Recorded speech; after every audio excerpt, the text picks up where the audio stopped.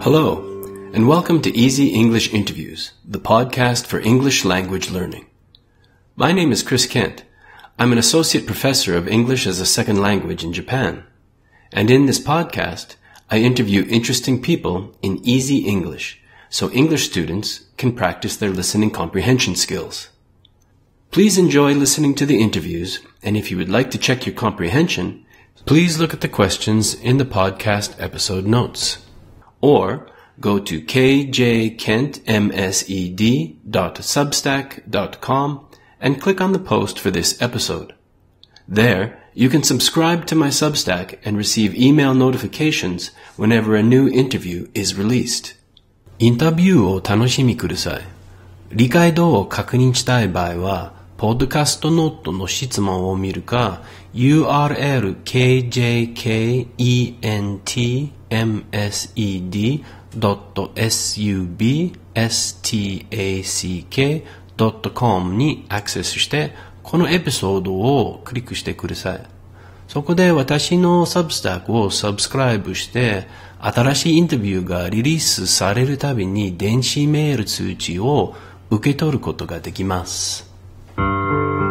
Okay, and now for the easy English interview.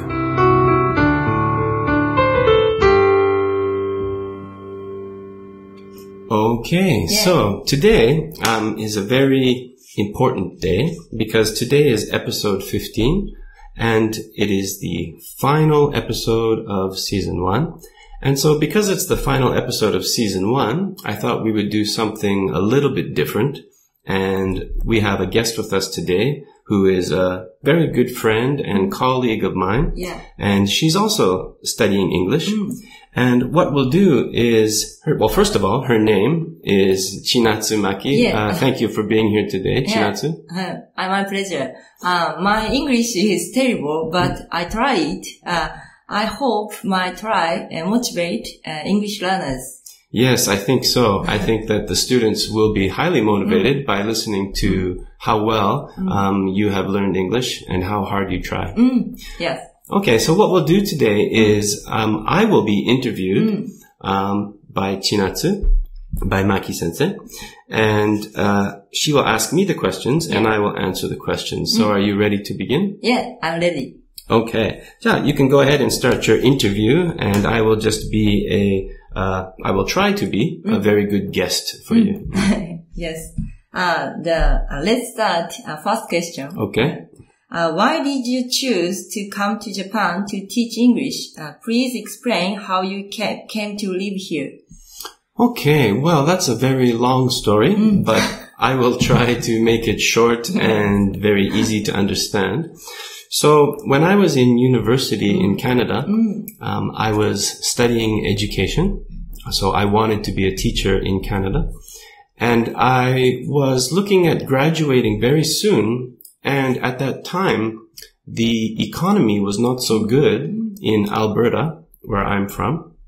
And so I thought that it would be difficult to find a job straight after I graduated. So I started looking into maybe traveling a little bit mm. after ah. I graduated. Yeah, yeah. And at that time, my professor at university, mm.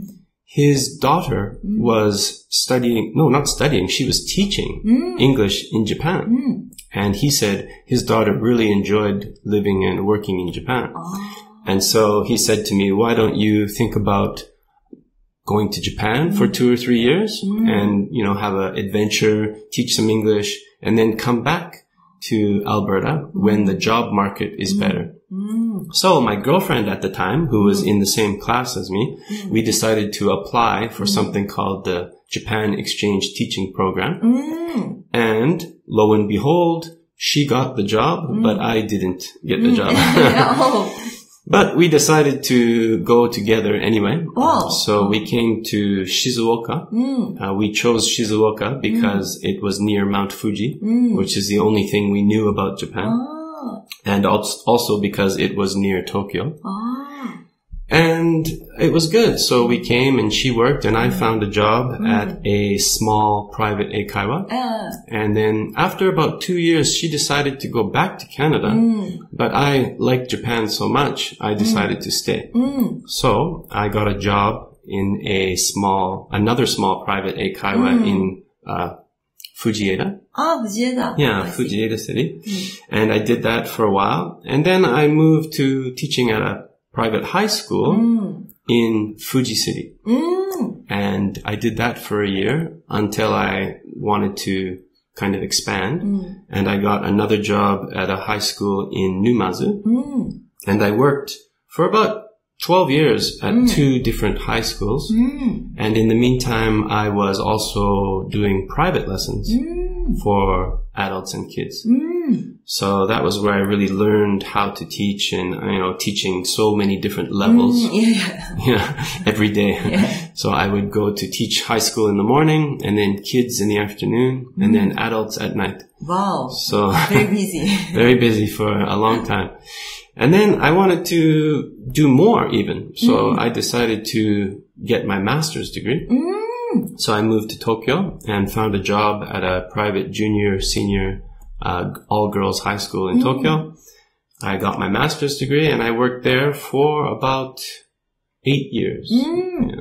Well, actually, I worked at the school for 14 years, mm. but I lived there for mm. eight years. Mm. Um, ah, in um, Shizuoka? Uh, in Tokyo. Ah, Tokyo. So. I moved from Shizuoka mm. to Tokyo. Mm. And then I lived in Tokyo for eight, uh, worked at the school for 14. Um, but in 2015, I moved to Nagano. So my wife and I had a child, our first son, and we decided to move to her hometown of Nagano. So that's where I am now. I see. Uh, next question. Mhm. Uh, okay. Mm. Uh, what did you study in uh, university and what, why did you choose that? Yeah, so in university, again, I was focusing on education, but mm. my major area of study was English mm. because I really loved drama. Mm. And so I studied, you know, Shakespeare and I, I love to read books. Um, and I also liked science. So my minor area of study mm. was biological ah, science. Yeah, so that's a pretty strange combination actually mm. to have an English major and a science minor. Mm. But I thought that would be good mm. for becoming a teacher mm. because I would, you know, have, you know, a variety of different mm. subjects yeah, I could teach. Yeah. Um, and so I chose those just because it was fun and interesting uh, for me. Mm. Um, and I also kind of enjoyed being, um, you know, in front of people. So as a teacher, um, you're able to uh, kind of do your job by communicating to people, which I like to do. Ah, I see. Mhm. Uh, uh, and uh, yeah, yeah. Uh, I know you you have been uh, you have worked as an English teacher for a long time. Mm. So next question is job aspect. Mhm. Uh, what are the good uh, what are the good and bad part of your job and why? Oh, that's a great question. I think, you know, the, I'll start with the good parts first. So the good part of my job is that I, I enjoy it very much because I love to communicate with people. Mm, And every day I wake up thinking, all right, I'm going to go to school and I'm going to have fun. mm, So that's the part I like the best. I think, you know, helping people to communicate, I think makes the world a little bit better. mm, yeah. I think if people, you know, if they feel anxiety to communicate, whether in their own language or in English, um, it's not a good thing. So I like to help people to meet new people, mm. to express mm. themselves. And to me, that's a lot of fun. Mm.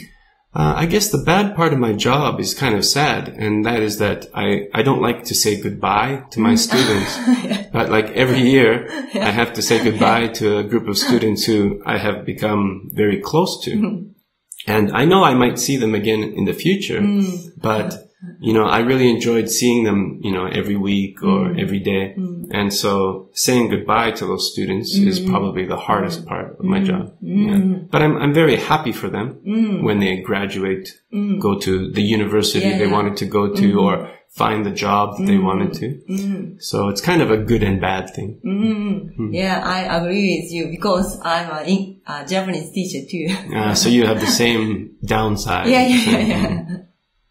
Yes, uh, the next question, uh, uh, uh, when you were younger, uh, what did you want to be and why? Yeah, that's interesting. So when I was young, of course, I really wanted to be an actor. Mm, so I wanted to be on TV. And in fact, I mm. was, um, you know, I did some professional acting. Mm. I did live theater. I did radio plays. I did TV. Um, you can still see some of the TV shows on YouTube if you look hard enough. um, but I, I wanted to turn that into a career when I got older. Um, however, the the life of an actor is quite difficult. I think you know you have to work very hard, and also I think that it's not always easy to be successful. Ah, yeah, yeah, yeah. Yeah. So I wanted to be an actor. Um, but then I changed. I wanted to be a dentist for a little while. Um, but then the, the, the idea of putting my hand in people's mouth, I didn't like that. So, yeah, maybe I'll be a, a teacher. Mm. Uh, I think you have a good voice. Uh, That experience may uh, give you a good voice. Maybe it helped a little bit. Yeah. Yeah, and the next question, uh, yeah, uh, uh, about next question is about Japan. Okay. What places have you visited in Japan? What is your favorite place in Japan? Hmm, so I have been to many of the major cities. So, uh, Osaka, Tokyo, and of course I've been to, I've been to Hokkaido, Oh. but I have never been to Sapporo. Ah, Um, I have, however, been to Okinawa, uh, Kyushu, um, Kagoshima. But my favorite place was a very small island that I visited in Kagoshima called Kikaijima. ah, I know, Kikaijima. Yeah, Kikaijima is very small. It's very famous for um, shochu, yeah, yeah, yeah. for yeah, like sugar, sugar cane shochu, so yeah. satokibi. Yeah, I love it. yeah, it's it's good. Um, so I went there on a vacation, and the people were just amazing. So mm. very friendly. Ah, And you know, I would walk down the street, and everyone would immediately invite me to join them, whatever they were doing, whether it was high school kids or a group of older men, mm. or you know, uh, even you know, just the average person living on the island mm. would just say, "Oh, come and say hello." You know, do you speak Japanese? Yes, okay. Very friendly, and they were always trying to, you know, Mm. get me to come back mm. on another vacation. Mm. They said, "Next time you come back, stay with me. Don't stay in the hotel. You can stay in my home." no, really? Yeah, yeah, very friendly. Um, and it was, of course, a beautiful island. You know, uh, white sand, blue ocean, um, and you could you could drive around the whole island in about two hours. So it was a very small place. Um, I really felt the hospitality of Japan. Yeah, I, I, I have never been to uh, Kikaijima, but I want to go to there. Yeah, you should. Mm. yeah, and mm, next question, and uh, uh, uh, and about about Japan, uh, what things do you like about Japan or Japanese culture? Well, I think it kind of relates to my last answer, and that is I really love the hospitality of people in Japan. So if you are a visitor to the country, or even if you're not a visitor, um, they treat customers or visitors with a lot of respect. Um, you know, the omotenashi kind of idea. Um, and I think it's, you know, it shows that, you know, it makes a, a visitor feel mm. important mm. and it makes you realize that it's a wonderful place to mm. visit, not only on a vacation, but to live also. Even though I've been here for many years, I still feel that hospitality every day. Um, so that's my favorite part of the culture, I think. Ah, thank you. yeah, you're welcome. And uh, next question, uh, next question is about you. Hmm. Uh, what is your hobby now and why? Well, I think my hobby is doing this podcast. Ah, yeah. but besides that, mm. I, it's kind, this is kind of work too, I guess. But, mm. um, my true hobby, I think, is sports. Mm. So I like skiing. So Nagano is very good for skiing. So I enjoy going to all the different mountains around Nagano. Uh, and in the summer, I like hiking when I can go. I know you are a very avid hiker. yeah, yeah, yeah, yeah. So, uh, you know many good places and you have told me about them. Yeah, yeah. Um, but also I think my, the, the hobby I do the most is just playing with my kids. Mm, yeah. yeah, and, and, and, uh, uh, it, uh, the next question about family. Mm. Uh, do you have a family here in Japan? Uh, yeah, yeah. So, uh, tell me about your family. okay. So, yeah, I got married about, uh, 10 years now. 10 years ago Ah, now. 10 years. Oh. Yeah. Um, my wife is from Nagano Mm. and, uh, we have three children. Mm. So we have a son who's nine years old. Actually, his birthday was yesterday. Yeah, congratulations. Thank you, thank you. he had a good birthday, I think. And we have twin daughters who are five years old, and they were born um, also in September. So their birthday was September fourth.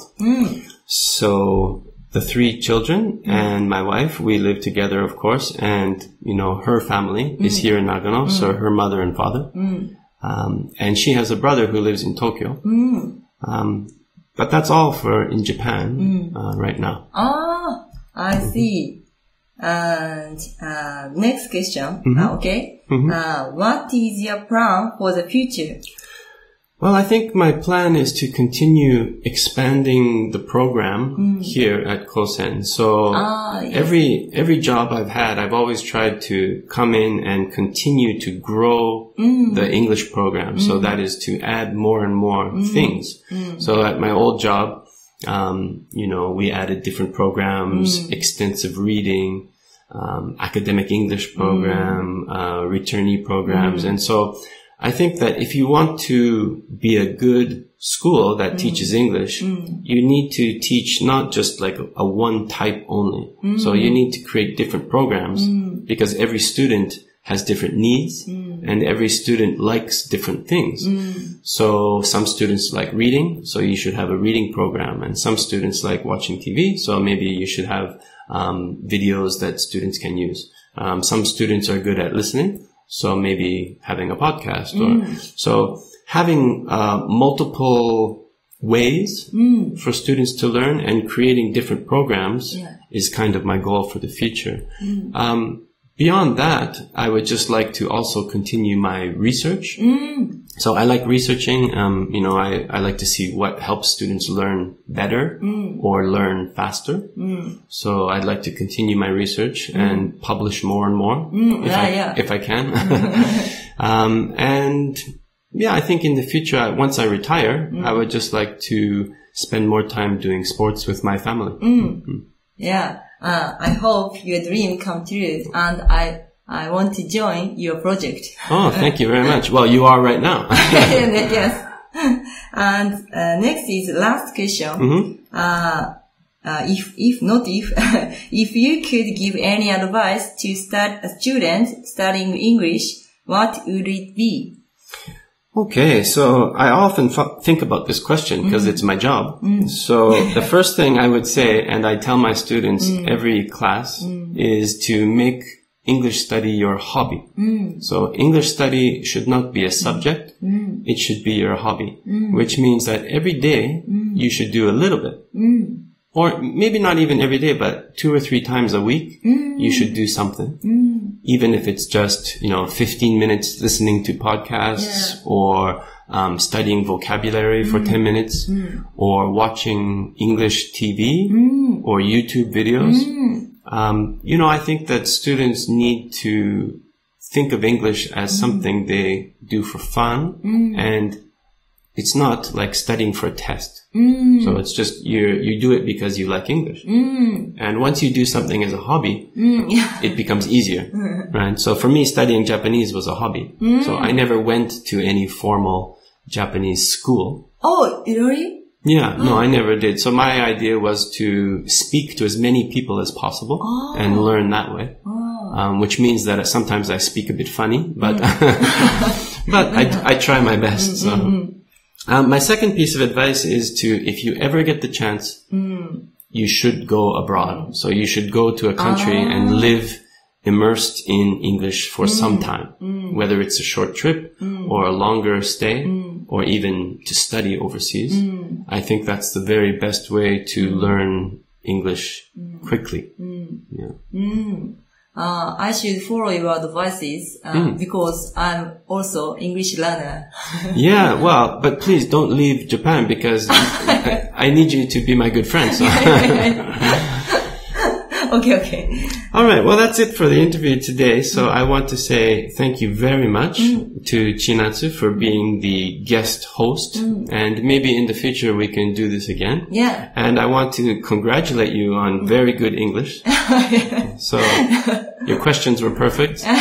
And even Thank you your, very much. even your comments were very well done. So thank, Thank you very much. Uh, Okay, well, we'll see you again, and thank you again. I know you're very busy. We both have classes we have to teach soon, so um, thank you, and we'll talk again. Mm, thank you very much. I had a good time too. That's good.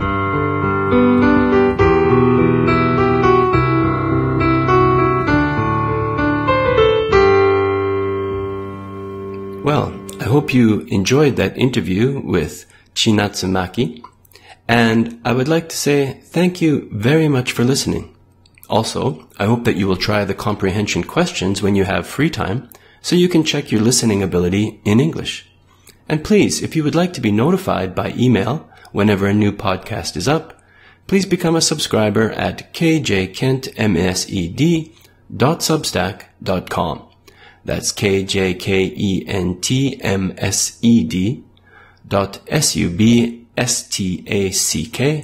dot com. If you become a paid subscriber there, you can read transcripts of the interviews and check your comprehension answers. You can also check out Easy English Interviews now at easyenglishinterviews.locals.com.